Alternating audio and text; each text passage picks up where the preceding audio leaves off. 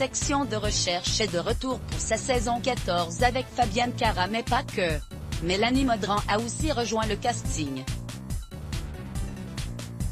La star d'un si grand soleil multiplie les opportunités, et si tout va bien dans sa vie professionnelle, en amour aussi. Elle s'est confiée à Télé Loisirs. À lire aussi les choses sont claires pour la comédienne de 41 ans, c'est sa famille sa priorité. Mariée depuis 2010 à l'ancien joueur de tennis Thierry Assionnet, elle est maman de deux adorables garçons, Tom et Léo, nés en 2014 et 2015. Avec son mari, elle partage l'amour du tennis et ce sport est devenu une vraie passion familiale.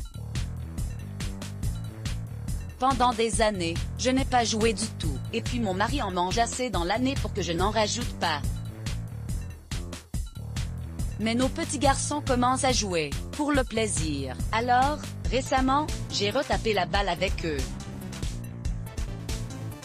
C'est vraiment super de pouvoir partager ça avec eux, de les voir s'éveiller au plaisir de jouer mais aussi au plaisir de gagner. C'est vraiment super rigolo, déclare-t-elle à nos confrères.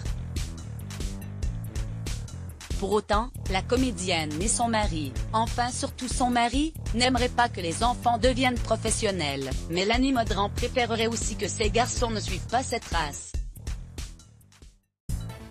Elle explique, mon mari serait dégoûté qu'il soit joueur de tennis et moi qu'il soit acteur. Ah. Après, mon époux comme moi connaissons mieux que quiconque l'envers du décor du sport de haut niveau, surtout un sport aussi exigeant que le tennis où seuls les 100 meilleurs mondiaux gagnent véritablement leur vie, comme de mon milieu où les élus sont peu nombreux.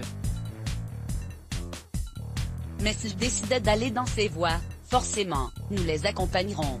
Il y a quelques jours, Mélanie Modran avait posté une photo de son mari pour ses 40 ans. Celle-ci, Thierry Assionir fait un doux baiser de l'un de ses fils. Let's block ADS. Why?